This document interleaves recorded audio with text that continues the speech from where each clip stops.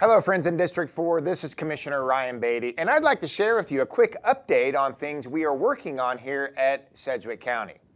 In early April, we officially took part in an en banc with the City of Wichita. Uh, an en banc is when both bodies of government, so you'll have seven electeds from Wichita, five electeds from Sedgwick County, uh, city manager, county manager, and select staff, we all come together for a formal public meeting.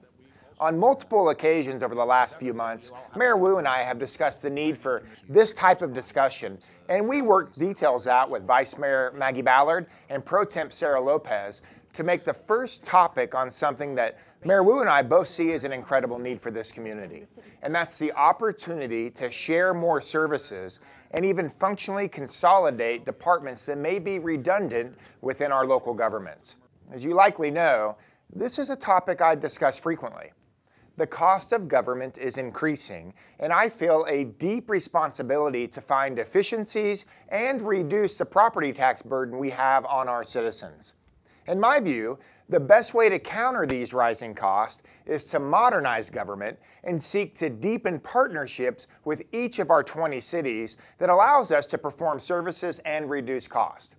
If I had a whiteboard behind me and listed all the responsibilities of Sedgwick County, and then I listed the responsibilities of all of our 20 cities, you would undoubtedly see lots of overlap and redundancies. This reality that there are opportunities for sharing more services and functionally consolidating departments, that doesn't mean that it makes sense to do this across the board with every department. Uh, we should have a litmus test of sorts that we only look at these types of opportunities when we can find efficiencies and improve services for our citizens and or uh, if there are cost savings to be realized. If those two items can be realized, then I'm going to push for this conversation. I think at the very least, our community needs leadership that will vet out these possibilities and work hard to explore ways to reduce the growing cost of government.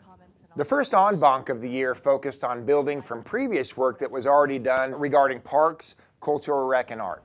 Both the city of Wichita and Sedgwick County have similar departments and similar roles in these spaces. And, and this is not a new discussion on functional consolidations of park and rec. So we're going to finish the work and see what opportunities may exist. From there, we're also going to form a blue ribbon committee made up of community stakeholders and citizens to explore what other opportunities are there and what other potential shared service relationships can we do. Think about animal control, think about environmental resources, IT, purchasing, even fire department. I'm going to turn over every stone in every department to see how we best modernize and position our local government to be the best that we can for our citizens. Also, this won't be the last en banc of the year.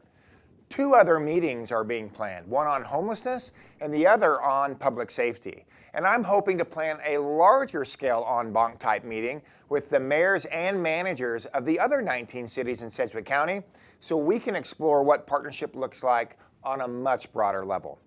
As you know, there's a lot going on in Sedgwick County. Some challenges, of course, but lots of opportunities. And I'm grateful to serve and represent you.